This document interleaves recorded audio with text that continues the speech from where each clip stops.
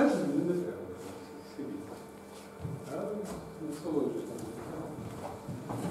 О, Так, сьогодні у нас остання зустріч. Як бачимо, вижили далеко не всі. Головне, що вижив лектор. Це було нетривіально. Тема сьогодні це фотографія ну, дослівно білої скриньки. Насправді назва не знаю, що вона означає, досить сильно збиває з толку. Значить, Якщо коротко, то це термін такий девелоперський, скоріше, чи хакерський. Ну і пояснити його можна приблизно так. Що Є у нас три типи, три типи атак, верніше три типи можливостей для атак. Це так звані атаки Black Box. Так, це дуже чорна скринька. Є атаки Greybox. Це така скринька трішки прозора, але затемнена. От. І атака Whitebox. Whitebox це атака, коли наша скринька зовсім прозора, місце видно все контролюється. Ну, що мається на увазі? Мається на увазі насправді можливість доступу під час виконання того чи іншого програмного забезпечення.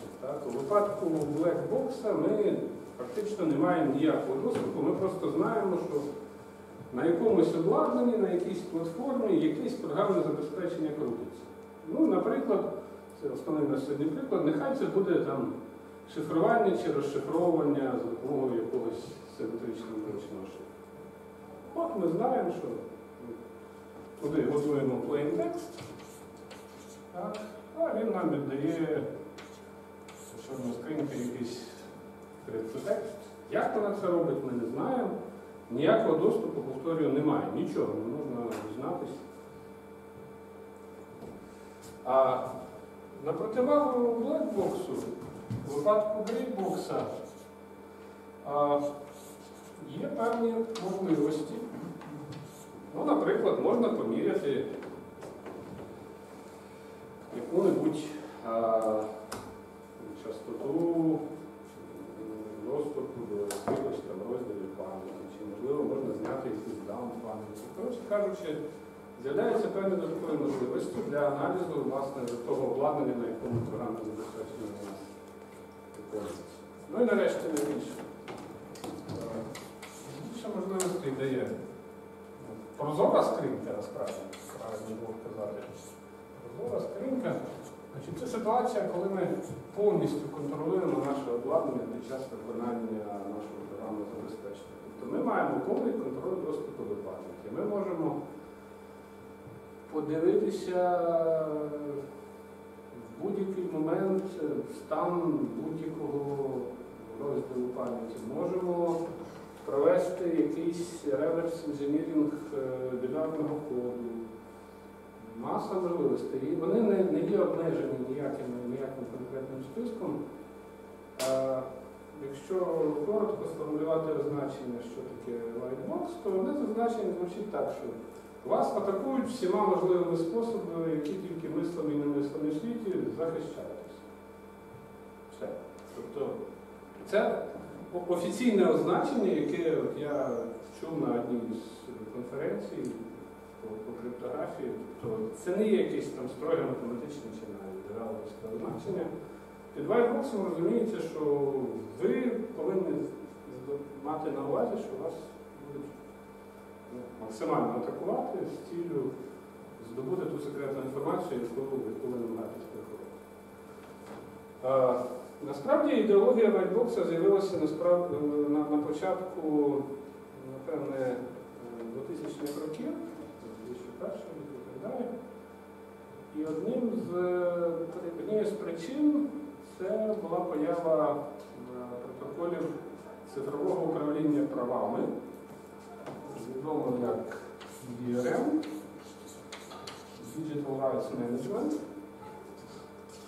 А протоколи, які успішно працюють і зараз, це одні з найбільш загадкових протоколів, про деталі реалізації яких е, ніхто вам не розповість. Ну, бо якщо розповість, то це можливо в двох випадках. Перше, або ці протоколи вже не актуальні, або ви маєте справу з промисловим шпіонажем. А Digital Rights Management це яку задачу вирішує? Ось, зараз я розкажу. Вона вирішує багато задач.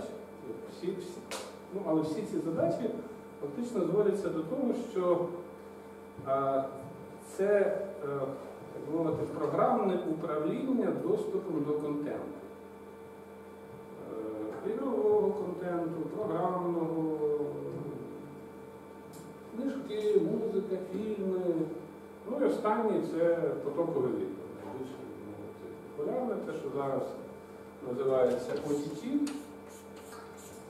Так, це така дивна абревіатура. OTT розшифровується як over the top. Під over the top розуміється, розуміються способи подачі контенту не через якісь медійні, медійні посередники, тобто не через телеканали, чи не, не через а, якісь е, там конкретні сховища, а мається на увазі, що є просто мережна інфраструктура, інтернет, і власник е, контенту використовує цю інфраструктуру, щоб напряму продавати кінцевому користувачу. Тобто модель, по якій ну, працює той же знаменитий Netflix, власне, найбільш, найбільш відома успішна контора, яка цим займається, це Netflix. Ну, зараз всі великі студії починають потихеньку до цієї моделі переходити. Там е, Disney відкриває якусь свою так мовити, систему передачі, е, ну, власне, Amazon, ну і багато інших. Вже, Тобто це стрімінговий наприклад, наприклад, стрімінговий, але не, не обмежуючись цим. Ті ж самі ігри з DRM-захистом. Так, відеоігри, комп'ютерні ігри, е, властивість яких полягає в тому, що якщо ви купили гру, маєте ключ, можете нею гратися в тому пристрої, де ви цей ключ ввели, і тільки ви можете гратись під своїм логіном, під своїм аккаунтом. Ну, Взагалі кажучи, наскільки мені відомо, ці всі системи дуже ламають, в тому числі там Безумовно.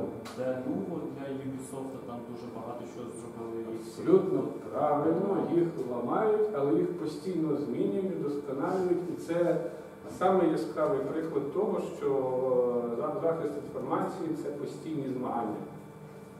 Так? Я з першої лекції всім кажу, що нема абсолютного захисту. Все відносно. Все залежить від потужностей нападу. В даному випадку відеоігри це звичайно точка таких, ну можна сказати, масованих атак хакерів. Це навіть справа принципу, як так? Мене не пускають.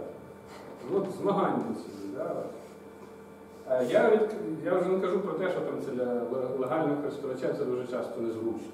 Це одна з найбільших ну, проблем, що якщо контент там десь зашифрований, і ви там граєтеся, цей час там вбудована система захисту починає перевіряти, чи ви це а вам тут треба відстріляти три сотні монстрів на ігровому полі. І система, замість того, щоб генерувати там ваші дії, починає це щось там перевіряти, ходити на сервер виробника, і, а, а затримки в часі в мережі значить, теж нікуди не ділися, ну ясно, що гравець дратується.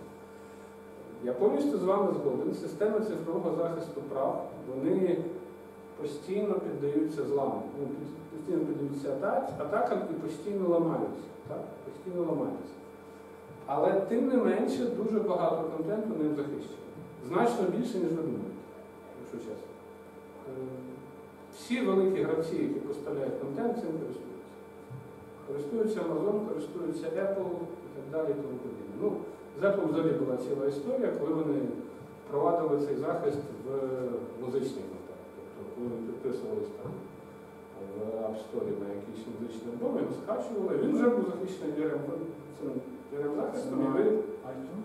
Так, так, так. І ви не мали можливості його там навіть перенести на якісь інші пристрій. Там цілий скандал з теорією був, і навіть покійний Стів Джобс виступав і казав, що так, я вважаю, що це неправильно, що музика, музика повинна бути вільна.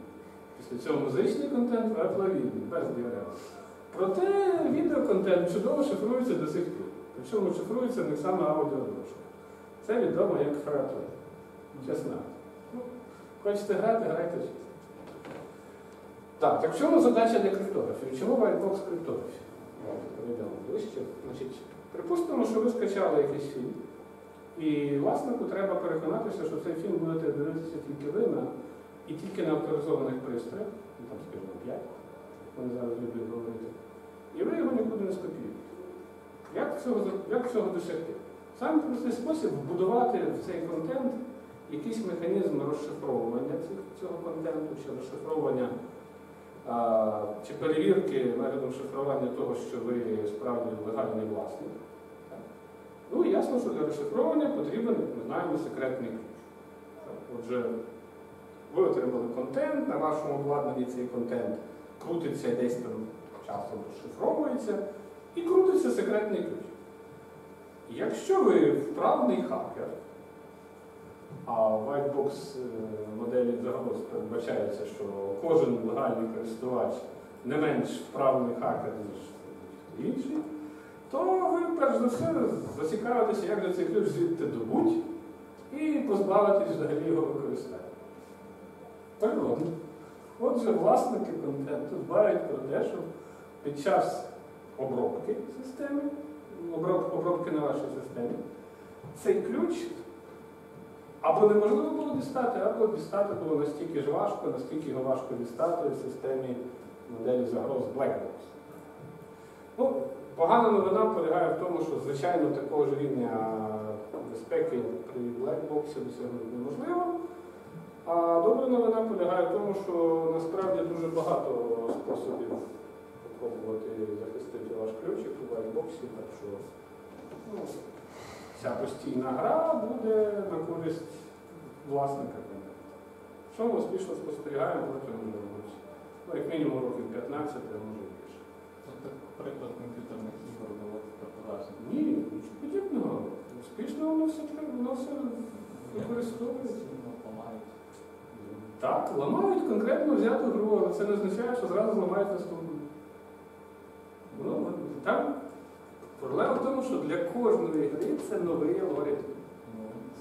Ну, О, так, це постійна Але кожен новий ламають. Да. Мені, мені здається, що тут є деяка принципова е, штука, яка, ну, яка унеможливує власне ці DRM штуки без деякого фізичного факту. Значить, я давайте презентацію.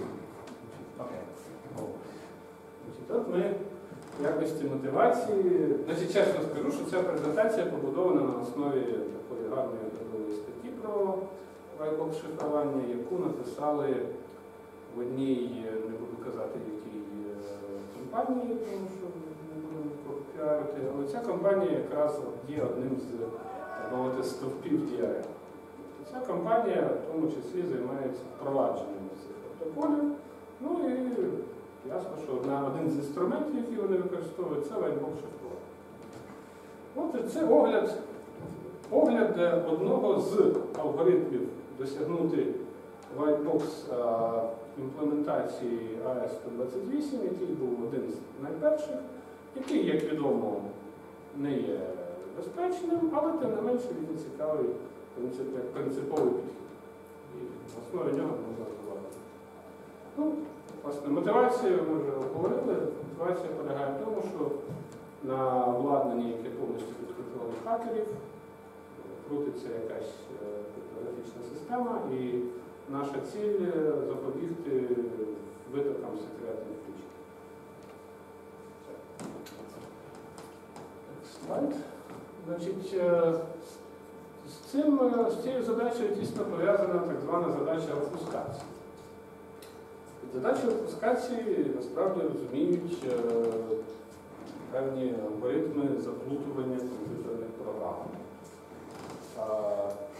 Ну, прикладами таких заплутувань є власне таке нечитабельне переписування вихідного коду, наприклад. Тобто, Знову ж таки, на, на, на, на одній з е, конференцій по офускаціях там автор показував якусь таку цікаву картинку, да, яка рисочка і тере, ну тобто рисочка і пробіл, да, така картинка, каже, що о, це програмний код, як ви думаєте, що він робить? Ну, відповідь була ну, там друкує хронолог, звичайно, так. Якийсь там JavaScript вихідний код був опускований. Ну, ясно, що коли ви бачите нормальний код, то ви можете зрозуміти, як там шукати що, да? якщо там ключ явно не використовується. Ну, по такому це людина не читабельний код. Тим не менше він працює. Зазвичай задача обфускації виникає для кодів, які ну для вихідних кодів, які є відкритими. Тобто там же JavaScript, там який, наприклад, інтерпретується. Правильно, але от в випадку там, шифрування, алгоритм шифрування, ну, код шифрування це дуже маленький кусок коду, звичайно. І є великі шанси, що якщо в хакера повний доступ до системи, він його якось реверсне. Є багато інструментів, я думаю, що знаючі люди вам можуть багато навести прикладів, як це робити. І тому проблема захисту власне ключа полягає ще й в тому, що і код теж треба захищати. Да, так от є теорема Барака і його співавторів ще 2001 року, яка доводить, що насправді е, універсального офускатора не існує. Тобто неможливо офускувати єдиним алгоритмом всі можливі програмні коди. Ну, приблизно для нас це означає, що не можна всі там, алгоритми е, шифрування дешифрування одночасно теж офускувати. Тому що це дуже різноманітні алгоритми. І, власне, ця whitebox модель вона справді вимагає для кожного конкретного випадку свого нового алгоритму. Тому ну, ці, як ви кажете, успішні атаки на DRM, через це вони успішні. Фактично теорема каже, що нічого дивного, так і має бути. Тобто щоразу вигадуйте щось нове.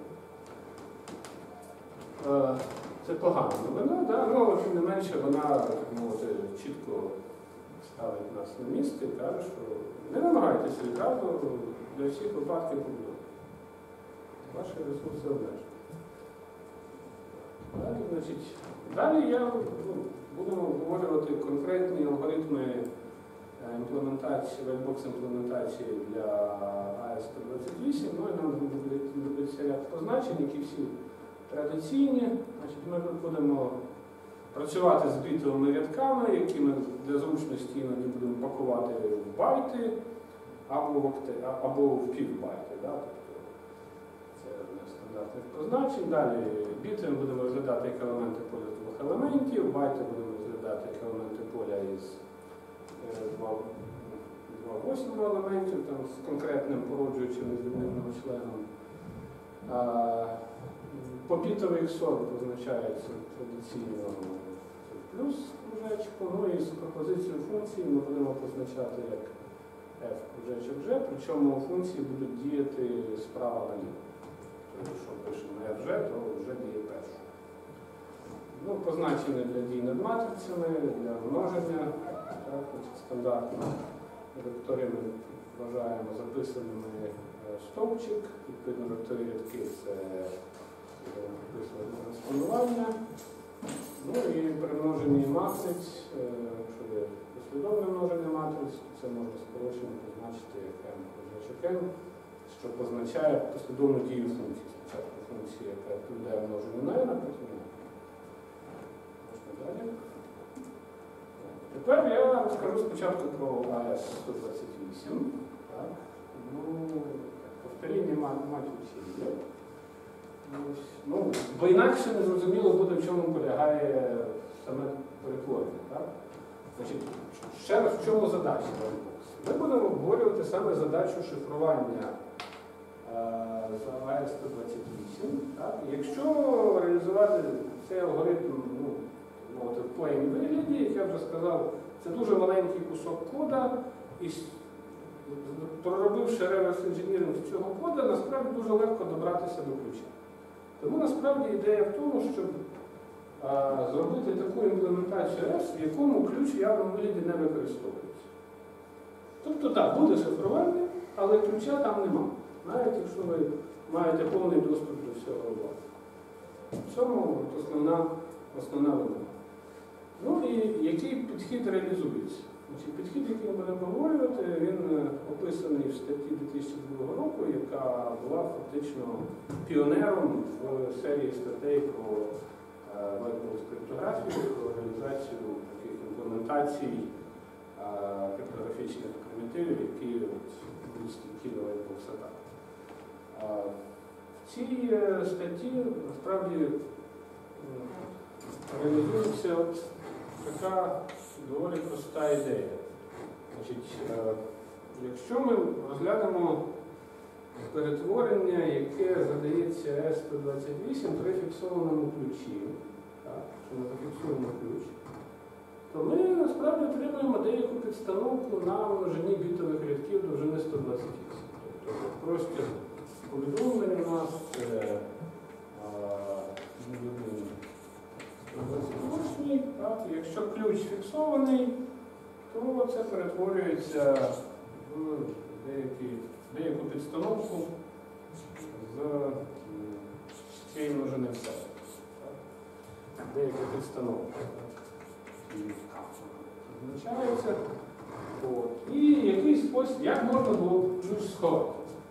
Ну, наприклад, всю цю підстановку якось загнати в одну табличку, велику, невелику. І коли треба значить, зашифрувати конкретний плейнтекст, просто звертатися до цієї таблички, подивитися, куди він переходить, і зразу видавати відповідь. Ну, все чудово, тільки табличка дуже велика. 228 наряд. Так от е, ідея, ідея, власне, Whitebox полягає в тому, що, так, звичайно, цю грандіозну таблицю ніхто зберігати не буде, це нереально, але проаналізувавши структуру АЕС, можна зробити так, що е, насправді ми е, замість однієї великої таблиці будемо зберігати дуже багато, дуже маленьких, які будуть виконувати рівно ту саму роботу. Тобто вони будуть е, виконувати шифрування, ну, дозволяти нам знаходити правильний шифротекст, але ключ при цьому явно використовуватись не буде.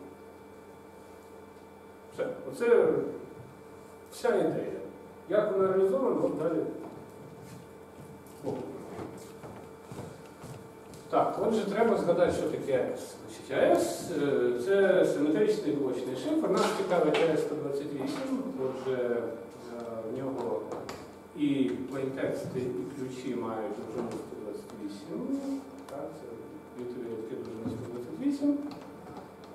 Сам, е, сам АЕС-128 можна розглядати як 10-раундовий е, 10-раундовий шифр. На кожному раунді використовується свій так званий раундовий ключ, який за певним алгоритмом генерується з секретного ключа. Нас зараз цей алгоритм не цікавить насправді. От, нам просто треба знати, що з секретного ключа ці всі раунди 10 ключів генеруються, причому там самий перший раундовий ключ насправді збігається з е, шифрування АЕС. Так? А, значить, для того, щоб е, обговорити чи описати алгоритм шифрування, вхідні дані 128 бітів е, прийнято розділяти на 16 байтів. Так? І ці байти традиційно записують у вигляді ну, так званої матриці стану, чи просто її називають станом. Так?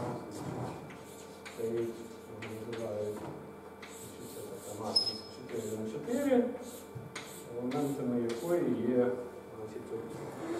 байти, байти наші, наші вхідні байти, причому вони нумеруються е, по, по стовпчиках, так, це байт, зараз, чи по рядках, секундочку, по рядках. Здається, це по 15, так, така нумерація. Тобто вхідний, вхідний контекст, це такий масив байтів, ну і він буде в процесі роботи алгоритму шифрування якось перетворюватися. І От нам треба згадати, як вони там перетворюються, ці перетворення, як вони там відбуваються, і потім ми обговоримо, як же ж це все можна замінити ну, якимись аналогами таблиці.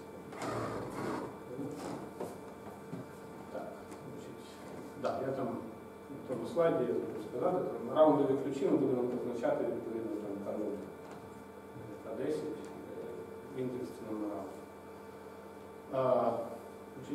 Е, з чого складаються раунди? Раунди складаються з виклику чотирьох е, функцій.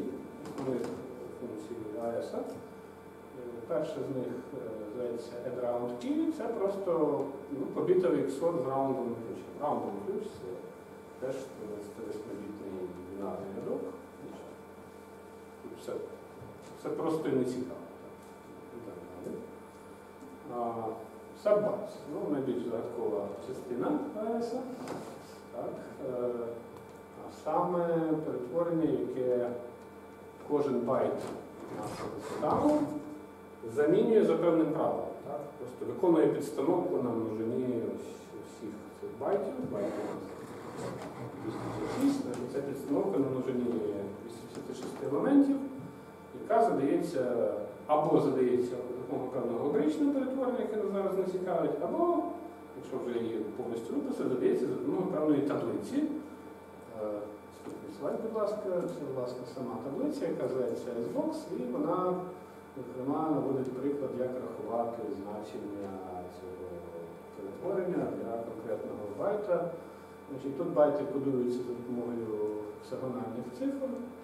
Значить, Якщо ми маємо байт 53, так, тобто ліва половинка п'ятірка, трійка, то це кодується, це перетворюється в пару ED, тобто байт 53 переходить в байт ED. Ну і так для будь-якого байту. Ну, історія S-box це якби S-box це окрема історія. Да? В даному випадку нам просто треба знати, що підстановка і все. Не цікавить, як вона з'явилася. Насправді ще це окремо буде. Будь далі. Наступне перетворення це м, суви, суви рядків нашого, нашого стану. Тобто, а, якщо говорити про запис стану у вигляді матриці, так, то наш нульовий рядок взагалі не зсувається, наступний зсувається на одну одиничку циклічно, третій на дві одинички і четвертий на три одинички. Ну, відповідно, якщо записати лінійно послідовність байтів, які знаходяться в стані, то образ буде таким. Так? Тобто нульовий на нульовому місці, на, значить, на другому місці буде п'ятірка, ну і так далі. Це якщо по стовпчиках. Далі, будь ласка, ну і останнє перетворення, значить, X-Columns називається. Це перетворення, яке діє на стовпчики. Так? Тобто ми вже маємо там три типи перетворень. Перший це побітовий XOR з ключем, другий це певна підстановка нелінійна, третє це циклічні суви по рядках, і тепер нарешті настав час стовпчиків. Це перетворення стовпчиків. Значить, е, ідея в тому, що кожен стовпчик у нас е, змінюється за допомогою множення на певну, певну матрицю, яка тут позначена МЦ. Значить, е, матриця множиться на стовпчики, це буде результат множення, це буде новий стовпчик. Ну а сама МЦ-матриця, якщо ж таки її кодування як е, матрицю над е, полем з два восьми елементів, то так вона виглядає. Це, це насправді найзручніше термін як многочленів над полем многочленів пояснювати, але достатньо знати, що кожен стовпчик це добуток конкретної матриці на той стовпчик. Значить, е, що ще важливо запам'ятати, що ключ використовується тільки в самому першому перетворенні, там, де ми ксоримо з ключем. Всі інші перетворення ключа не залежать. Далі. Ну і псевдокод, власне, шифрування AES виглядає ось так. Е, Ми стартуємо з plaintext у, який заганяємо в наш state, і далі цей state обробляємо. Фактично тут е, 10 раундів, які можна, з яких можна виділити окремо цикл довжини 9, де вони всі встановлено викликаються. Ну і на початку є ще одне перетворення, в кінці ще, ще три. Тобто, е, ну, до 10 раундів, як, як, як, ми отримуємо 10 раундів, просто ми кажемо, що е, останній раунд обмежений, да? то окремо лежить. Е, Раунд ті на початку, потім ще 9 раундів і окремо 10 раунд. Ну і результат всіх цих перетворень це значення нашого стейта, яке ми повертаємо як. Ну, якщо оце закодувати, це можливо, не складний виходить код, лежить. От, і він насправді дуже вразливий до white process. Якщо ви таке покладете, ну, то ваш ключ дуже швидко дістане. Треба щось з цим робити. Які є ідеї? Ну, кілька спостережень. Як можна цей псевдокод переписати? Ну, по-перше, давайте помітимо, що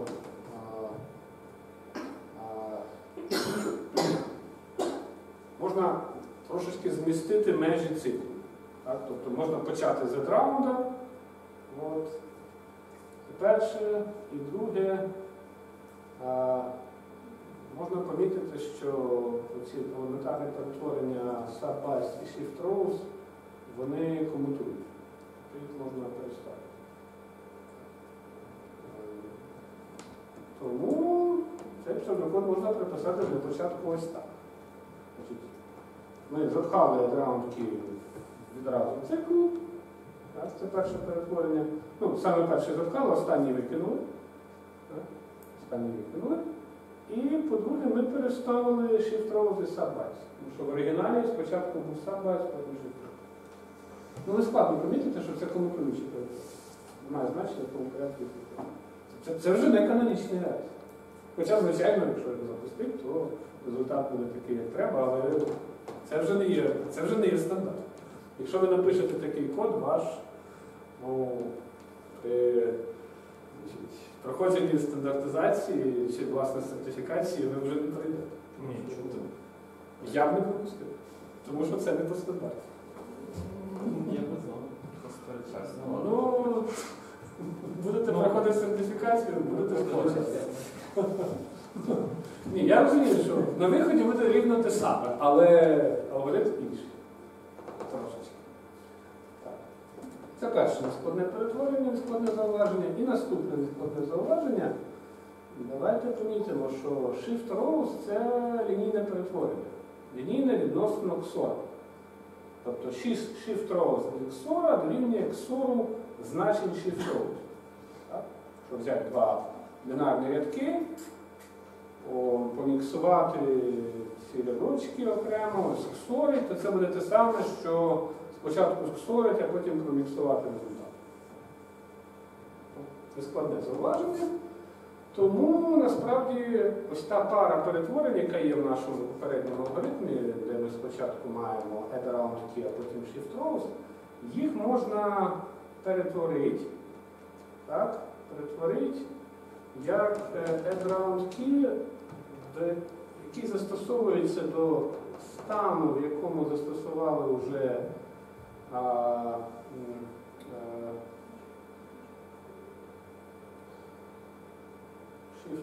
але при цьому ще й ключик трошечки переміш- перемішу- переміси- перемішало. Тобто Shift Rows застосований не тільки до стану, а ще й до ключа.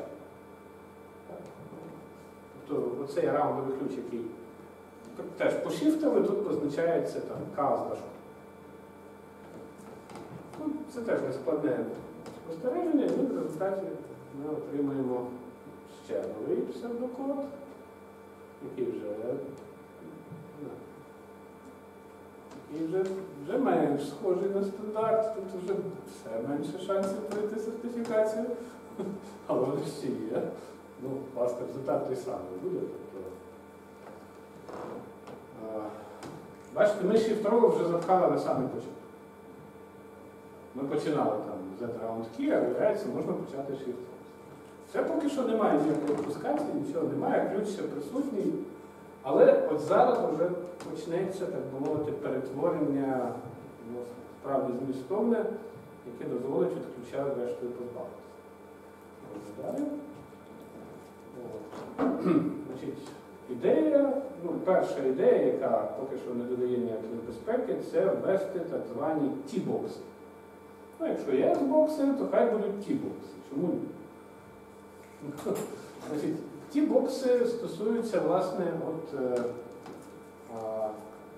застосування, послідовного застосування ось двох базових перетворень, around key і subbytes. Насправді, замість того, щоб виконувати ці перетворення, можна загнати результати їх роботи в певні таблички. Таблички, які називаються T-бокси по аналогії з S-box. Тому що S-box це був substitution bytes, а T-box це transformation of bytes. Тому T-box. Ну, значить, для кожного раунду буде свій T-box. І для кожного е, байту, який лежить в стейті, він теж буде. Так? Тому кожен T-box це власне табличка з верхнім індексом, який показує номер раунда, і нижнім індексом, який показує на номер е, байта в нашому стані. У нас 16 байтів стані, е, нижній бігає від 0 до 15, верхній бігає від 1 до 9, ну якщо це значить, наш е, раунд звичайний, ну останній раунд інше перетворення, тому трошки складніше, тому що фактично двічі там, після нашого переписування, двічі викликається round. А тут ключ входить як е, Входить, входить. параметр. Входить як параметр, звичайно. Поки що ми ключа не позбавилися. Ми, ми його позбавимося трішки далі. Це така, ну, не сказати, що ітеративна процедура, але спочатку ми переписуємо наш алгоритм так, що з'являються таблички, які залежать від ключа, а потім ми вже від ключа почнемо позбавляти. Така, така ідея. Ну, загалом тут ідея справді дуже проста. Оці основний алгоритм АЕС трішечки ми видозмінили, попередній слайд, а тепер ми ну, куски циклу чи взагалі весь е, алгоритм пробуємо змінити так, щоб там не треба було нічого рахувати, а просто треба було дивитися в якусь табличку. Але принципово обмеження ми робимо так, щоб той алгоритм, що виходить, Так. був Поки що повністю так. еквівалентним дешифрувати. Результат роботи на вхідних даних має бути поки що ідентичний. Тобто, якщо там був на вході plaintext, а повертався ciphertext, то тут точно так само. Той самий plaintext повернеться в той самий ciphertext. Поки що. Далі будуть зміни. Окей, давайте далі. Да, тут, так, перепрошую, там пораховано кількість цих е, табличок, значить, скільки їх там. Чекайте. Це, це далеко вже назад. Ось, так. 160 ті-бокс. Дуже проста арифметика. 10 раундів і 16 байтів кожному раунді треба. Тобто ті-бокси це правила, як перетворювати байти. Все. Як байт перевести в байт. Далі. Значить, наступне це так звані TYI таблиці. Значить, за що вони відповідають? Ну, вони фактично призначені для того, щоб якось е, описати цей мікс коду. Так, мікс код, нагадаю, це просто множення стовпчика на фіксовану матрицю. Вона позначається МЦ, ось вона тут позначається.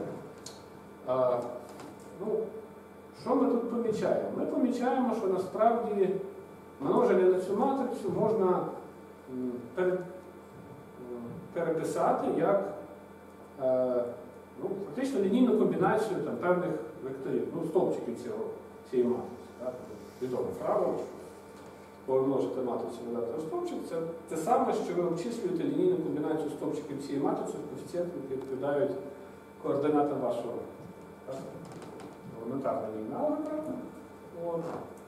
І тому е, давайте ми оці е, множення, чи оці доданки теж будемо е, задавати якимись табличками. Тобто ось ці таблички там позначаються Т01 і так далі. Це для першого раунду. Верхній індекс це номер раунду, а 01, 2, 3 відповідають ну, цим нашим чотирьом, додаткам.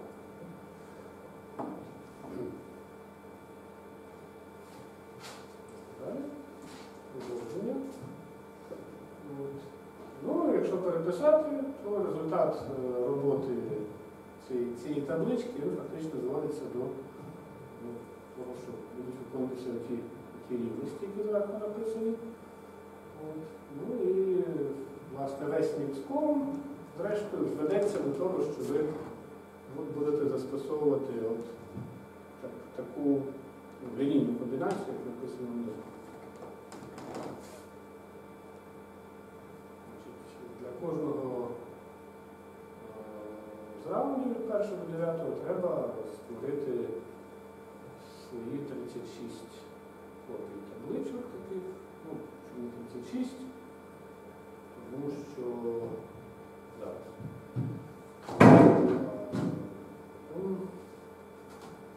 Ні, дев'ятка це якраз вже заховано. 36, так? Е, А Ну, там був в останньому раунді ж немає. Нема, нема, правильно. Тому дев'ятка. Тому дев'ятка присутня. А чому 144? 4 байти в одній- в одному таблиці. Ну, в таблиці з 4 байтів. Виходить річ. Так. Ну, там було пораховано, тобто це значить, фактично ми замінили міксполом ось цю деталь. Так, тут ключа взагалі не було. Фактично це перетворення поки що нібито ні для чого, але потім буде зрозуміло, чому. Ну, Це 144 таблиці по 32 дні. Да, да. Ні, багато, багато виходить. Не виходить? ні? Ну, там буде 4 на 8, 32, а буде на 36. А чому на 8? На 9. У нас же 9 раундів. 36 це 9 раундів, значить 2. Так, а чому там 36 копій? 36 на... Насправді ж, е, незалежно від байта, матриця одна і та ж ця. Ну, Незалежно від стовпчика. Тому, це на попередньому слайді, цей підрахунок. Ну, насправді, е, тут ідея в тому, що ми е, байт переводимо в 4 байти. Одна, одна табличка, один байт переводить в 4 байти, тобто весь стовпчик. І таких е, має бути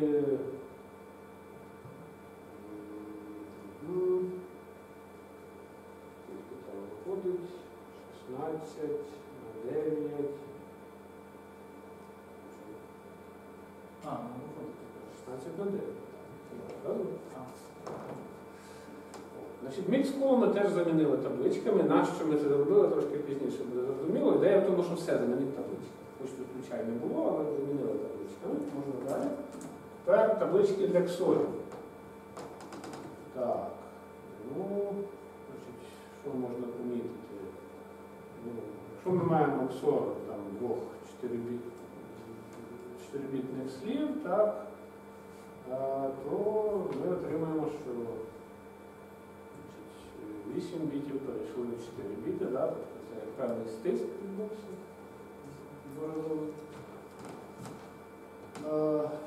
Да, і ще треба зауважити, що там, де ми щойно говорили з полом, там насправді все звелося до застосування цих Т, Y, табличок і потім подальших ксорів. З тими ксорами ми ж поки що не розібралися. Зараз ми ці ксори зараз будемо реалізувати до табличок.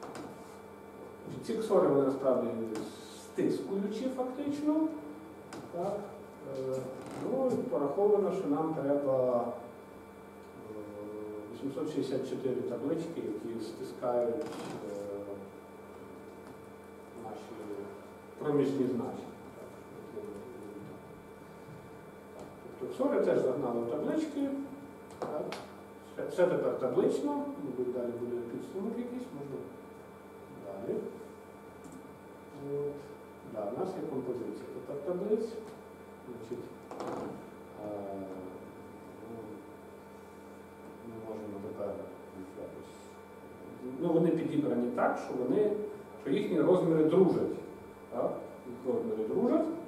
Ми можемо коректно рахувати е, якусь композицію таблиць, це буде нова таблиця. Ну, якщо цю нову таблицю зберігати в пам'яті, то це буде дешевше, ніж зберігати ті, композиції, які ми рахували. складне зауваження. От, і далі ми отримаємо такий псевдокод, який вже зовсім мало схожий на початковий АЕС, тим не менше це АЕС. Так. Тут, власне, вживаються позначення для тих табличок, які ми використали для заміни оригінальних функцій, які входять в АЕС. Якщо врахувати композиції, то в нас є 144 так звані таблички у вигляді T-box, TYG табличка композиція, ну і створені куди не ділися. І ще в кінці у нас все-таки T-бокси залишаються. В кінці ми позбавитися їх не можемо. Композиція у нас була тільки всередині. От це фінальний псевдокод, який насправді поки що нічого не приховує, але вже стартуючи з нього, можна позбутися залежності, позбутися використання, явного використання ключа. Тобто це був проміжний підготовчий етап, який не міняє алгоритм, не приховує ключ. Ну, сертифікація, мабуть, все-таки пройде, якщо ви його гарно запускуєте, тому що результат на векторах видає рівно той, що потрібно. Швидкість поки що не падає. А думаю, що Вона навпаки підвищується. підвищується, тому що замість щось рахувати, ми дивимося весь час таблички, а це швидше. Тобто в нас е, росте використання пам'яті, Так, але Так, е, якщо да, з точки зору продуктивності, перформансу, то ми позбавилися багатьох зайвих обчислень, все загнали в таблиці, ну, які треба згенерувати один раз для даного ключа і далі просто тягати потрібно. Наскільки вже пам'яті там буде оцінка далі. Коли ми вже все запускуємо, далі буде оцінка. Ну, це таке, це чисто академічний інтерес, тому тут. Ну, ну ні, ну можна порахувати, там вже були всі розміри. Йдемо далі. А, да, от так воно все разом працює. Значить, як працює? Ну, от, якщо в нас є вхідне, е, вхідний контекст, це наші 16 байтів з номерою 0 до 15. Так, тут показано, як отримати перші 4 байти криптотексту. Вони беруться там з 0, 5, 10, 15 байтів початкового плейнтексту. Спочатку обробляються цими табличками, які ми назвали T-box, потім обробляються TY табличками, потім подається це все на вхід е, SORU, табличками, які відповідають SORU. Ну і в кінці ще раз SORU, якось так. Ну, і ще одна там буде ще один приклад, це як працюють SORи. От, ну, вони там досить сильно перемішують вхідні байти. А може запитання, а чому ми ксор виділяємо в якійсь таблиці? Ксор це ж Е, Ми його виділяємо для того, щоб все було табличне. В цьому ідея. Щоб не було взагалі ніяких обчислень, все брало з. Ось така, така ідея. Ну, давайте далі. Значить, тепер от така погана новина. Насправді, якщо ми маємо цю таблицю і reverse engineering дозволив до цих таблиць добратись, то насправді от, е, нижній рядок показує, як порахувати якийсь конкретний байт секретного ключа. Ну, треба мати S-Box, S великий це S-Box, T це наш T-Box. Ну, доволі просто. Що поки що ніхто нічого не, приховав, просто переписав алгоритм. Отже, далі переходимо до ідеї так званого вхідного і вихідного кодування.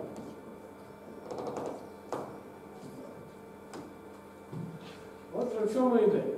Ідея в тому, що давайте міняти таблиці за допомогою якихось об'єктивних перетворень.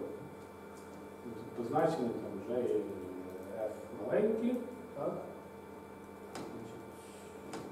От ці таблиці, які ви згенерували, ми будемо міняти за допомогою якихось випадкових об'єктів.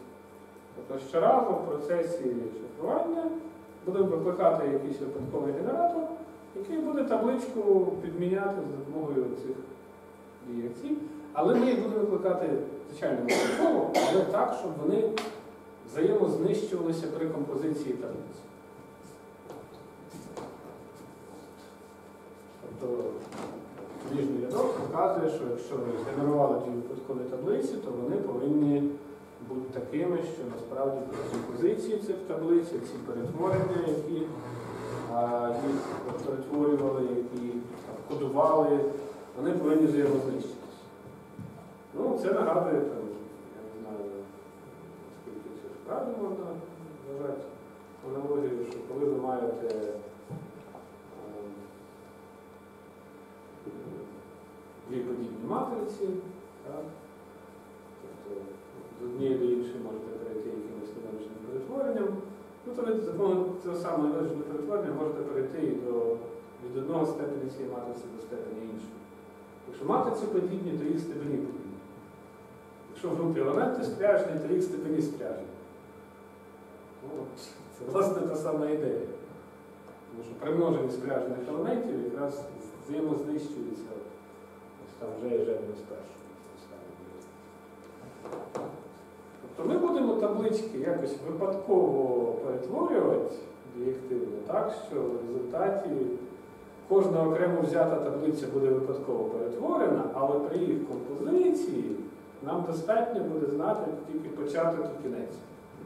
А все, що всередині, воно насправді знищиться при композиції перетворення. Проте нападник бачить окремо взяту перетворену таблицю. І в нього, чесно кажучи, великий білий шум. Ну, от така ідея. Сумнівно, правда? Ну, тим, так. Підтверджую, сумнівна. Тут є успішна атака, ми її, правда, не будемо обговорювати. Але давайте подивимося, як ці таблиці перетворюються. А, Ну, власне, говорили там про опускацію коду, так, тому е, тут це перетворення таблиць ще називають опускацією. Тобто справжні таблиці, які використовуються, вони опускуються. А, Що тут використовується? Ну, використовується ну, певна функція стиску, на випадку F вона позначена. Так. А, Ця функція дозволяє а, будувати е, фускований е, бітовий рядок як завгодно довгий. Вертикальна риска традиційно позначає конкатенацію рядків. Так. І використовуючи там звичайнісіньке кодування 4 бітів, ми можемо закодувати ну, як завгодно багато бітів. Використовується там тільки дві базові функції. Основні які перетворюють якісь чотирки, чотирки бітів. Щось дуже мало. Далі.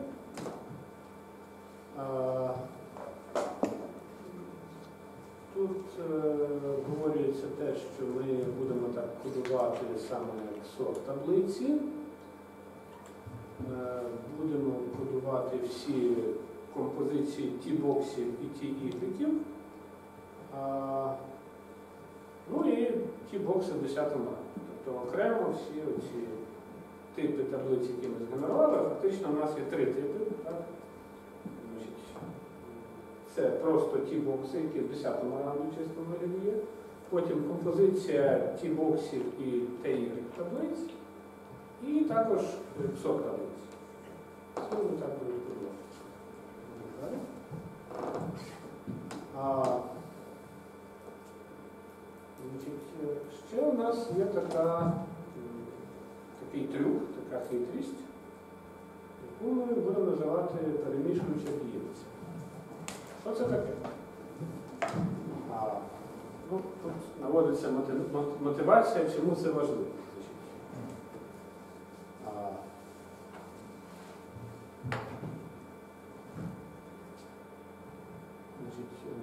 е, є такі терміни, як конфузія і дифузія. Да? Конфузію, за конфузію відповідає це кодування і конкатенація входу і виходу, так? а за дифузію буде відповідати певна, певне перетворення, певне лінійне перетворення, яке ми будемо називати перемішуючою і ці перемішуючі дієції, вони знову ж таки розглядаються як е, випадкові лінійні перетворення на типових з двох елементів. Так?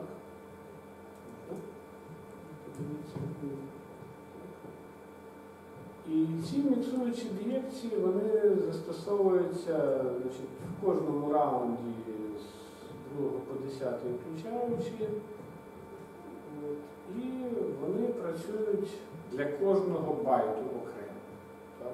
На кожному раунді, для кожного байту своя дієкція. Тобто, фактично вони якраз відіграють роль у тих проміжних е, кодувань, які знищуються при множенні, при суперпозиції. Там кілька слайдів попереду у нас там було вже і вже не спершу, які знищуються. От вони фактично це композиція цих міксуючих бієкцій, які застосовуються для кожного байту окремо, а для кожного байту окремо це просто випадкове лінійне перетворення, невироджене лінійне перетворення, що воно буде бієкція. Ну їх доволі багато. Насправді ясно, що.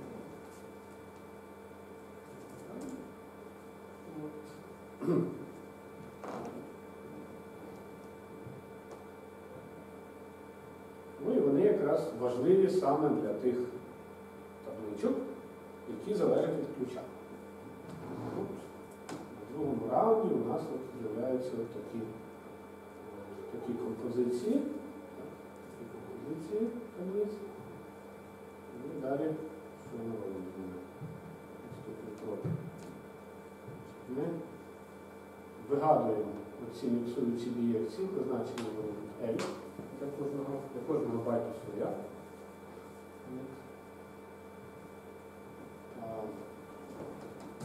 Ми отримаємо нові таблички, які ось так уже виглядають.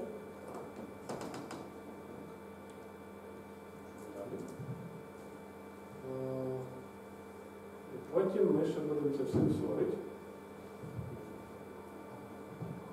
Далі. От. А потім ми позбавимося насправді от, е, цього, цього перетворення, раніше верно перетворення за мною такої, такої рівності. Далі. Ну і тепер, е, продовжуючи це все розглядати, ми отримаємо такі нові е, перетворення. Блок. Так. Ну і це все буде комбінуватися табличками для аксонів. Ну і далі у нас з'являється нова картинка, яка розбита на, дві частини. Значить, це нагадує попередню картинку, там табличне шифрування, так, де були таблички, але тепер замість табличок вже з'явилися оці ну, композиції, які ми щойно робили. Е, Там, де на, на- самій першій картинці там була просто, був просто T-бокс і T-Y таблиця, тепер у нас е, фактично виникає суперпозиція цієї нашої міксуючої бієкції, так само вверху. Потім е, ті таблички, які були, і потім кусок, який ми причепили для того, щоб е, подати це на вхід в соло. Насправді ми зберігаємо, ну, не знаю, нагадую мені пляшку, всю цю пляшку зберігаємо. Ми просто знаємо, що вона при композиції розпадеться на ці всі частини, і оця випадкова частина там знищиться. Так? Але в пам'яті зберігається пляшка. І оскільки всі L випадкові, то пляшка теж випадкова. Ну, так. Ну і там ще друга частина, після ексорів далі а, життя не закінчується, ми повинні позбавитися цих МБ. МБ не з'являється, ну і далі знову вже таблиці застосовується. Тобто ми насправді опускували ті таблиці, які були залежні від ключа. Ключ використовувався тільки е, в сорі, там, ну, початковому сорі граундах, і там, де він використовувався, там ми ці таблиці всі запустували. В такому випадкових перетворах. Тобто, якщо зовсім примітивно це все описувати, то для того, щоб зашифрувати в АЕС-128 так, щоб воно було безпечним проти вайбокс атаки, ми саме шифрування розбили на певне мікрошифрування, які теж виглядають як якісь мікросиметричні блочні шифри. Тільки ми щоразу там всередині генеруємо якісь випадкові дані. Ну, Така, така цікава історія. Ну і там на- завершення, що там у нас ще є. Да, ще так звана екстерна онкодінг.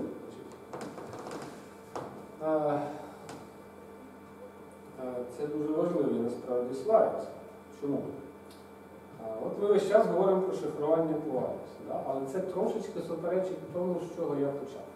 Бо я почав з дешифрування, а саме е, я сказав про задачі, коли до вас прийшов контент, там щось зашифровано і використовується секретний ключ для дешифрування, і якраз є небезпека, що він витече, да? що ним можна буде користуватися незалежно від е, підписки і так далі. Насправді, вся ідея цього перетворення, яка яку ми розглядали, полягає в тому, що ми перетворюємо не тільки алгоритм шифрування, але це також впливає на алгоритм дешифрування. Тобто ідея, яка була в цій статті обговорюємо, полягає в тому, що а, ми не просто будемо розшифровувати криптотекст в plaintext, а ми будемо певний перетворений криптотекст розшифровувати в певний перетворений plaintext. Ну, вживається термін кодований криптотекст, вкодований той текст. Так от оці кодування додаткові, це е, ну, певні нові бієкції, фіксовані бієкції на множинисто розціночних слів. От е, виявляється, що насправді їх треба десь там зафіксувати, їх треба зашити і застосовувати не там, класичне дешифрування, а таке перетворення. Дешифрування ДК, ДК це секретний. І от вибір цих бієкцій це теж окрема задача, я буду на неї зараз витрачати час. Вони, ну, автори пояснюють, як вибирати ці е, вхідні, ну, ці зовнішні кодування. І насправді, коли ми от таким чином е, перетворимо наші алгоритми, то ми фактично отримуємо ось такий, ну, отримуємо на вхід ось такі перетворені криптотексти. Тобто тут уже порушується та вимога, що застосування до тексту дає такий самий криптотекст. Тут він вже буде перетворений. Тобто його може розшифрувати не ДК, а ДК штрих. Саме тому, що ми вносимо цей випадковий шум на початку. І в кінці теж.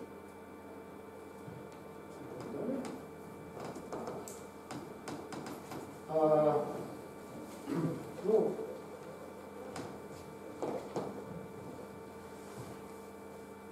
Тут якраз ну, те, те, про що я щойно сказав, розглянути вже ось е, фінальну стадію роботи цього всього. Тобто на, на момент, коли на якомусь пристрої ми дешифруємо контент, то ми насправді дешифруємо не чесний криптотекст, а оцей перетворений криптотекст FDX. Так? І ми повинні застосувати не оригінальний дешифратор, а цей штрихований перетворений шифратор, дешифратор.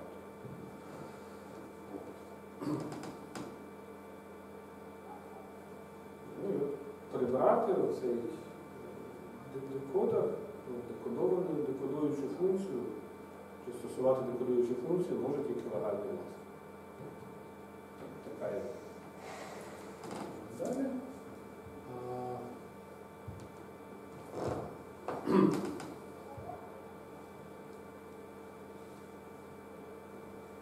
Ну, Тут пояснюється, що власне це декодування, це насправді е, робота з певними відмінними перетвореннями на положення елементів. Так, так багато обчислень. Ну і далі оцінка. І далі, скільки там це все займає.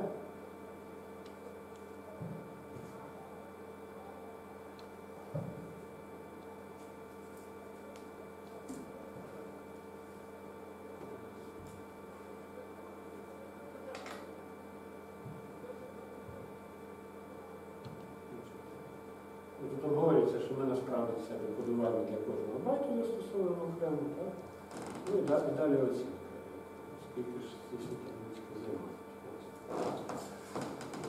Ну, нижня, низ слайда це власне оригінальна стаття, яка тут обговорюється, стаття Чоу та інших авторів. Стаття 2002 року. Значить, скільки ж це все займає? Займає воно все 508 кілобайт. Ці всі таблички, ну, пів заради одного нещасного 16-байтного ключа, ну, мабуть, багато.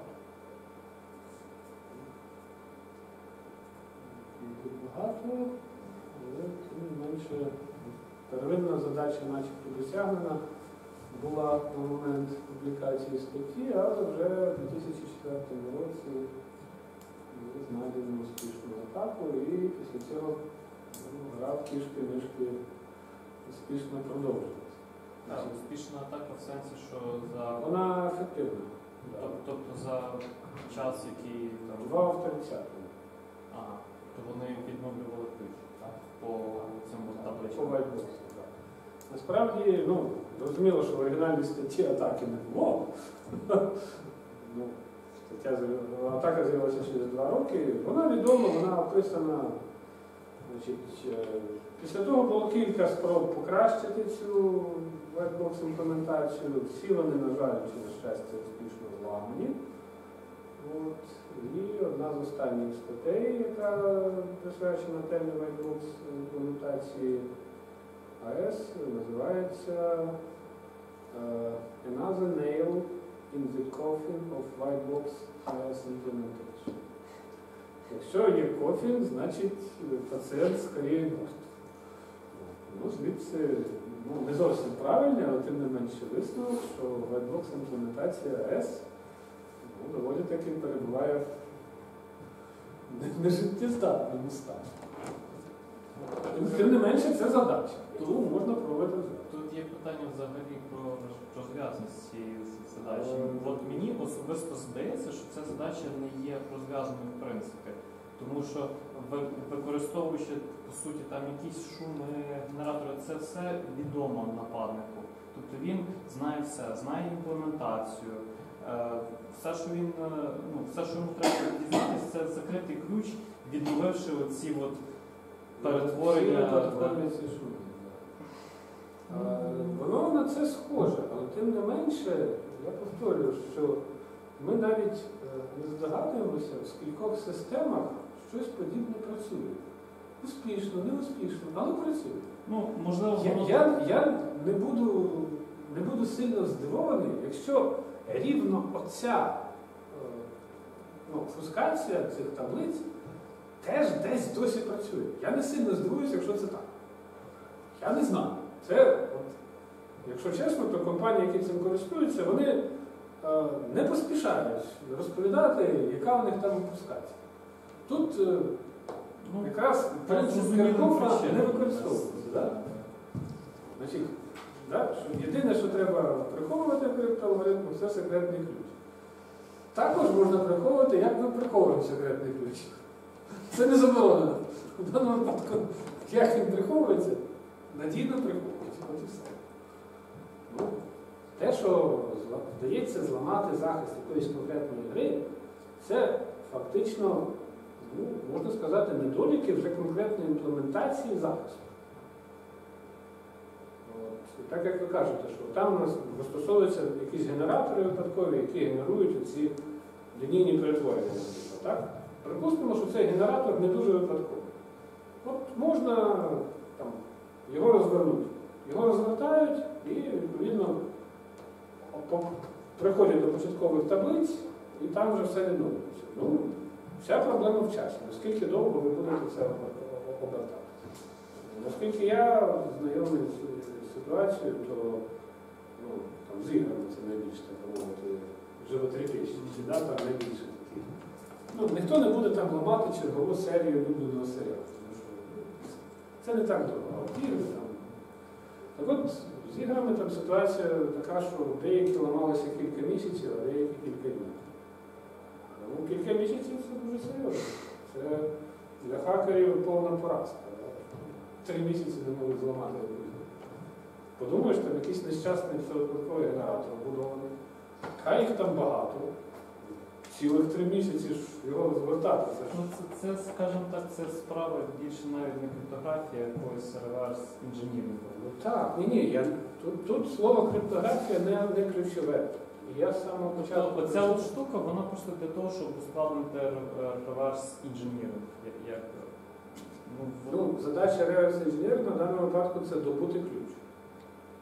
Тому в певному сенсі все-таки це криптографічна задача. І тут е, ну, фактично це підрозділ е, так званого сайт-ченнел аналізу. Тому що ми не аналізуємо сам алгоритм, ми аналізуємо його роботу в певному, за певних да, тобто запускаємо там Добре. відноходжувач. і- Наприклад.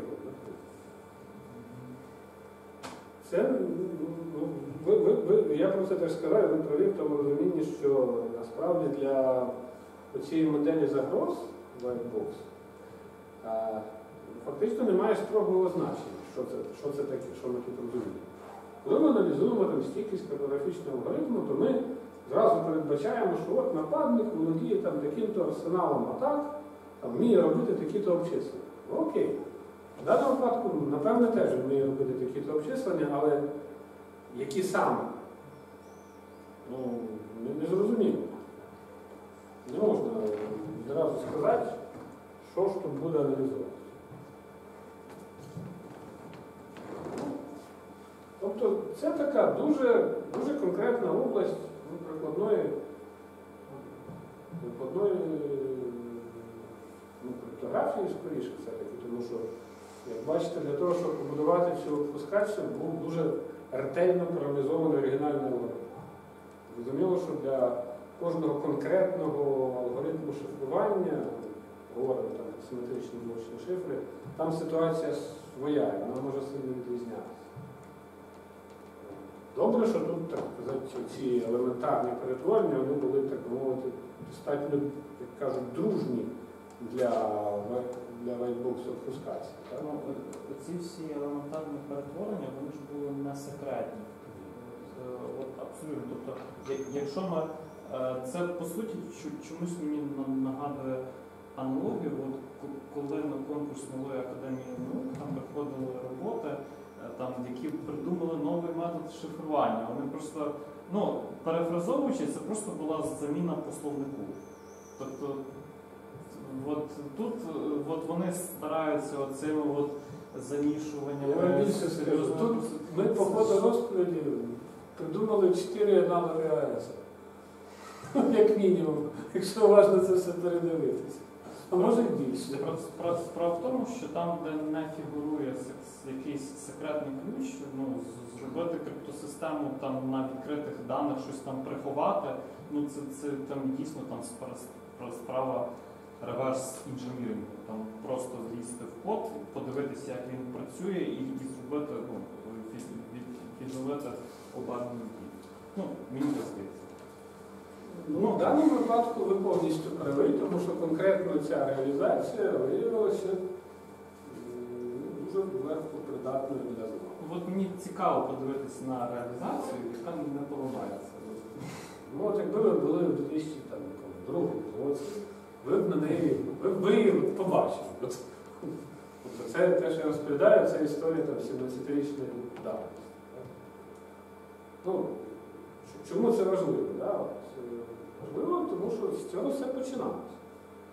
От Оригінальна стаття Чову та інших, вона була фактично першою літографічною статтею, де була чітко, ну не чітко, але так, обговорена ця модель загроз Whitebox.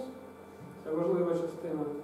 Це перший важливий внесок цієї статті. Другий було ну, запропоновано метод конкретний, як можна офускувати АЕС. Також там була офускація для ДЕС. Тому що ДЕС тільки-тільки йшов з ринку, АЕС тільки приходив. 2002 рік тільки-тільки був стандартизований. З тих я повторюю, було ну, багато спроб. Ну, На жаль, всі вони не вдали. Але тим не менше я не виключаю, що ці спроби використовуються. Можливо, навіть конкретно це. Тому що все гарно написано. Беремо студента другокурсника, який тільки-тільки вивчив лінійної алгебри, вивчив, що таке скінченне поле, даємо цю статтю, він сидить, пише вайбокс імплементацію і продає. Робить на цьому перший капітал. А чому ні? Бізнес-модель. Курсова робота. Тут все написано. Навіть по цій презентації все можна зробити. Так, ну, за рахунок спроб, які були ну, з 2002 року. Я так розумію, були спроби як е, перемішування коду, е, так і, мабуть, були спроби е, самих алгоритмів конкретно для whitebox. Що Так, були спроби саме розроб- розробити блочні шифри, які з самого початку були, так мовити, whitebox friendly, в тому розумінні, що вони легко піддавалися цьому позбавленню від ключа. Ну, на жаль, е, по-перше, нові алгоритми викликають велику завжди мало ли що це за алгоритм. Тому всі зусилля були нібито на АЕС направлені, і от, на жаль, Ну, тобто задача такої, як розробити новий алгоритм для whitebox моделі, такої як не було. Було скоріше модифікувати е, відомі шифри, типу Я думаю, що була така задача, і знову ж таки, продовжуючи мої здогадки, я не виключаю, що а, якісь розвитки цієї задачі можуть десь промислово використовуватися. Чому ні? Принцип Карпова, він добрий для підручників. А для реального життя важливо, щоб от цю конкретну систему протягом там, найближчих трьох місяців ніхто не міг ламати. Всі засоби хороші. Чому ні? За ці три місяці всі, хто захоче погратися, куплять, а далі нас це не цікаво. Хай там. Це вже чисто економічно Саме, саме так, чисто економічно. І тому для кожного фактично серйозного проєкту я ну, знаю, що всі алгоритми просто переписують. От і все. Нехай не сильно переписуються, нехай там якісь зміни вносять просто в тому числі випадковий генератор. Але це вже буде в результаті нова імплементація. І попередній реверс вже тут буде, не буде працювати. Тому що ну, спрацьовує цей ефект новин. В одному місці поміняли і воно на всю систему виникає. Тому так, це ну, чисто економіка. Економічний інтерес да, дуже важливий. Я ну, терему Барака ж не згадав не даремно. Фактично вона означає, що нема універсального вайтбоксу. Ну, так. Це Да. відчувалося. Фактично універсального нема, але для кожної конкретної задачі, на кожен конкретний відтинок часу, я, я з цього почав, що Whitebox він дуже сильно демонструє цю властивість, що нема абсолютного захисту. Все відносно. Залежить від ресурсу, який ви направляєте на. Так ще питання, наприклад, гомоморфна криптографія, а саме задача там е, безпечних баз даних, secure computation, вона буде вирішувати цю задачу whitebox. Да. Навіть, да, я сьогодні згадував кілька доповіді. Е, У 2016 році під час проведення Крипто 2016 був проведений воркшоп, присвячений тільки криптографії. так? І там ну, були різні доповіді. Я, їх, чесно кажучи, всі продивився. От, е, всі вони крутилися навколо того, що да, задача є, спроб було багато, на жаль, не вдало. Ну, так якось ми старалися, але нічого не вийшло. І згадували, що да, от, можна криптографія, в принципі, нашу задачу розв'язує, тому що ми можемо робити з допомогою криптографії перешифровування даних. І той самий, ну, що, що таке шифрування по Це застосування функції шифрування, яка на вхід бере ключ і плейнтекст. А давайте ми ці двоє, двоє даних голоморфно зашифруємо, отримаємо шифр, гомоморфний шифр ключа, гомоморфний шифр плейнтексту, і там гомоморфно порахуємо АЕС. Це буде АЕС над гомоморфно зашифрованими даними.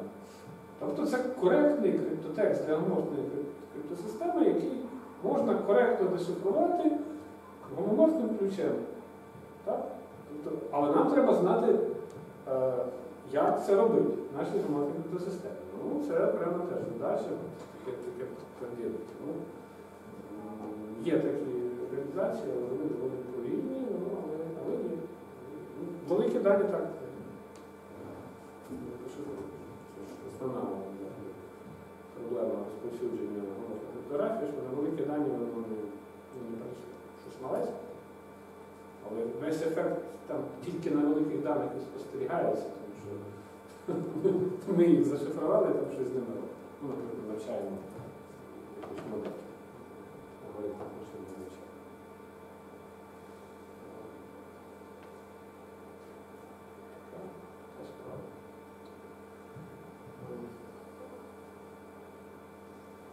це ви придумали цю тему? Це ви придумали цю тему? Хто придумав цю тему? Я не планував про мене розповідати. Хто, хто захотів? Я, знаю, хто,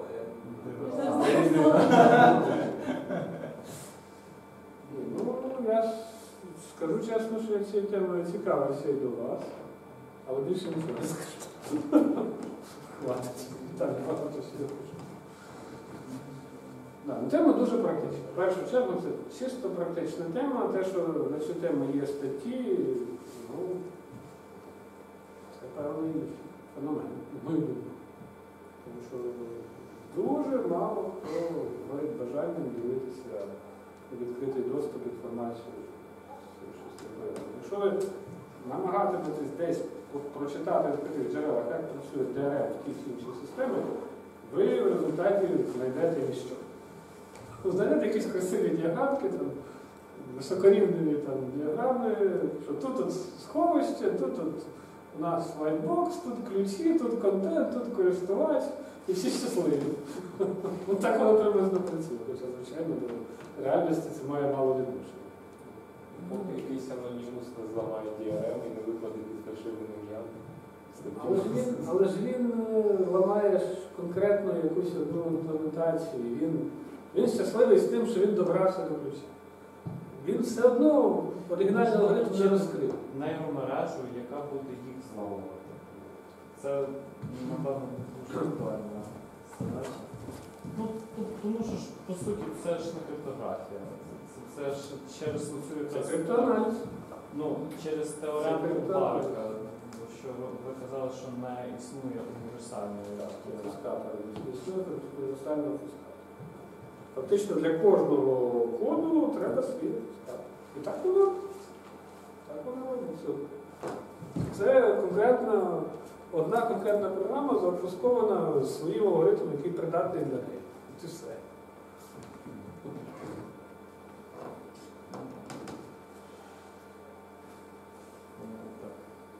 Тримається на. На чесному слові. Ну так весь світ на чесному слові тримається. Як же Ну, ну, криптографія не на чесному слові. Ну, чому? Є, є Дивіться, я, я от ще раз згадаю цю конференцію, значить, там один з доповідачів е, аналізував от е, такі міркування, які ви зараз намагаєтесь ну, висловлювати. Міркування такі. Традиційна блекбокс криптографія куди надійніша, ніж whitebox. Ніхто ж не сперечається. Але ж питання в моделі запросу.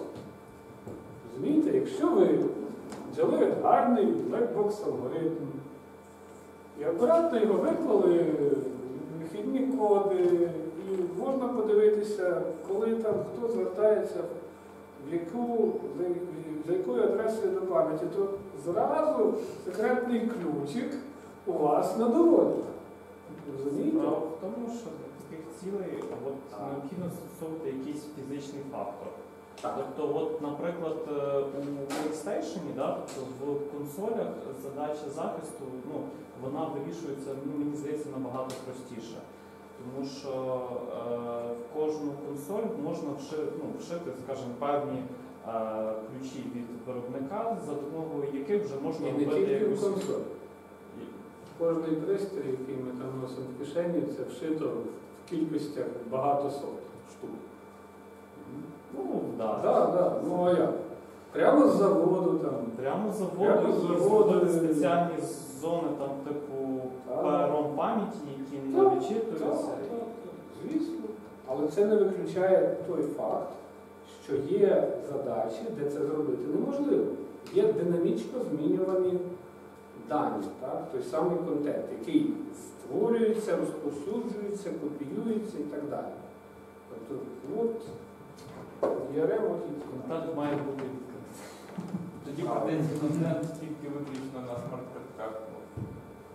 Ну так от я ж про це і кажу, що без Так, але фізичного фактора з- з- Але ж якщо ти хочеш подивитись фільм, то не треба ж Ну, їхати не в треба, Америку, не треба ніяких купувати смарт-картки. носіїв, не треба ніяких носіїв. Треба просто сісти, натиснути кнопочку і воно прийде все. Або чекати, поки на пошту прийде ну, носій з цим фільмом. Просто інша система розповсюджена.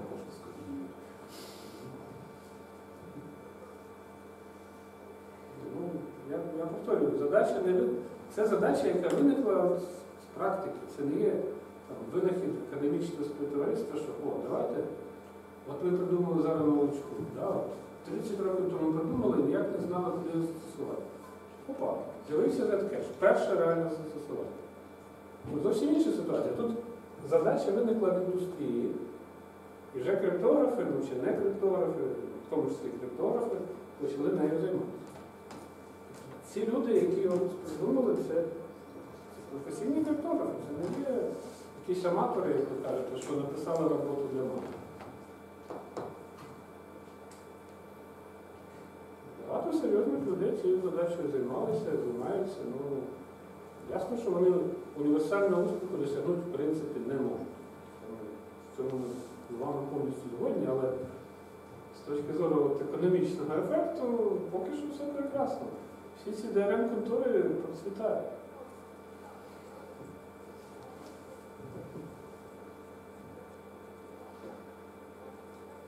Ну, Просто ну, варто знати, що таке теж. Таким теж займатися. Ідея для бізнесу, да? Ні, ні, ні. Бізнес цю ідею, знаєте, вже давно попрацював, заробив багато мільярдів на цій ідеї. І ще не один мільярд заробить, повірте. Бізнес знає свою справу тут.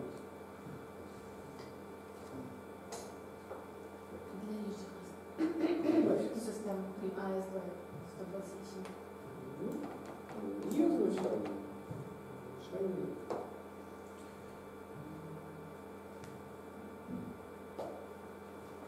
Там тут- тут важливо, що воно все в комплексі працює. Тобто S128 як чисто блочний шифр, він напевно десь використовується, але так сходу важко сказати, де він використовується, як правило, в потоковому режимі. Там це важливо. Ця сама задача може бути і для асиметричних шифрів. Може бути м, практично важливо. А, ну, є схожі схеми, наприклад, для DCDSA чи RSA. Як пояснюють е, фахівці, я в даному випадку ніяк не королевший фахівець, от, як пояснюють фахівці, А чому найбільше зусиль саме на АЕС? Ну, перше, це розповсюдженість. І друге, це математична простота. Я не дарма сказав про другокурсника, який тільки-тільки вивчив лінійну алгебру двох елементів. Цього, цих знань достатньо, щоб це все обґрунтувати. Насправді RSA з точки зору математики значно, а тим більше і CDSA, це на порядку складніші речі, ніж. Ну, AES це там арифметика перший клас, і CDSA це там випускний курс університету. Це можна пояснити Третій курс стек. третій клас. От проведіть творчий експеримент, знайдіть 10 10-річну дитину. Повірте мені, що при потрібних зусиллях ви дуже швидко йому поясните, як працює АЕС. Краще пожаліти її психіку. Свою. Він буде щасливий, не сумніваюся. А от розказати, як працює CDSA 10-річній дитині, це треба зуміти. Треба провести експеримент. Ну, я, бачите, я генерую ідеї для ласка. Діти бувають різні. Треба правильно. Ні, ну тут все тривіально. Ну що це може сидіти? Ну, Якщо там два роки пояснив, що таке можна. Тобто, Якщо там два роки пояснив, що таке можна.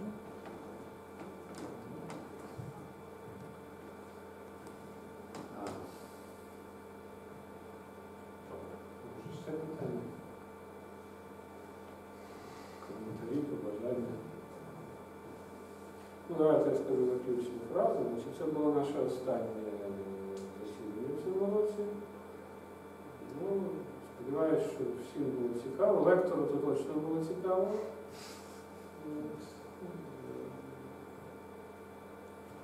Можливо, щось пішло не зовсім так, як хотілося на початку, ну, але це не помиляється той, хто нічого не робить. Думаю, що на наступний навчальний рік таким семінаром зробимо паузу. Е, Хіба ви якось самі реалізуєтесь. ну, так мовити, носії, носії КПІ, КПІшної культури. Все це робиться в КПІ для КПІ, для всіх інших гостей. Можливо, КПІшний криптографічний культурист все-таки самоорганізується і відновиться. Тут, напевно, треба якось мотивувати людей. Ну, напевно, проблема дуже багатьох, тому що вони от прийшли на першу лекцію, там поставили ізогенні, і от зразу бабах по голові тими. І все, і всі. Було логічно, тема було положено фігурів. Ні, ну скажу чесно, що я був дуже сильно здивований кількістю присутніх на першому. Це була повна аудиторія, це звичайно. Це доволі специфічні речі насправді. Розумію, що тут. Можна читати окремо спеціальні щоб пам'ятати. Тут взагалі більшість тем це окремі спеціальні курси. Ну, крім вальбуса, звичайно. Хоча теж це такий гарний наслідок е, симетричного курсу по симетричній криптографії. Тут можна багато задач. якості контрольної чи домашнього завдання придумати свій веб-курс для Або зло. Або зло. Ну, один придумає, а другий ламає. один, один придумає, другий робить. Перше домашнє завдання. Кожен придумав, здав викладачу, ну, він роздав в додатковому порядку, а ти зламай цей, ти цей, ти цей. Найгірше, коли тобі приходить рівно той, який ти придумав. Один тиждень ти придумав, наступний треба ламати. Це біда. Так що я наступний навчальний рік, напевно, такий факультатив проводити не буду. Але якщо буде ініціатива проводити семінар, то я думаю, дуже, дуже здивно. Запусти слухач. В форматі, коли будуть декілька доповідачів. Так, так, так, формат проводити викладачів. Ну, тобто звичайно. Ну, бо так воно вийшло як певний курс лекцій. Це, ну, я скажу чесно, що не всі, не всі теми мені там сильно до душі, якісь мені ближчі, якісь далі. Але ну, мета була насправді познайомитися з таким широким спектром. В принципі, ця мета, я сподіваюся, досягнута.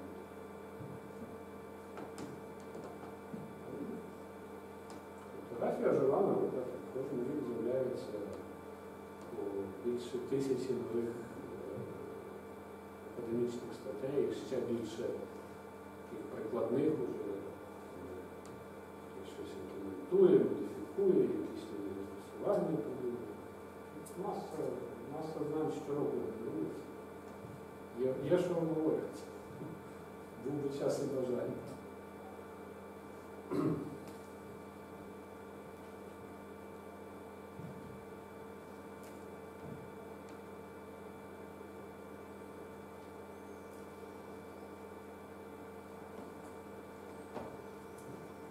Ці оптимістичні. Давайте завершимо.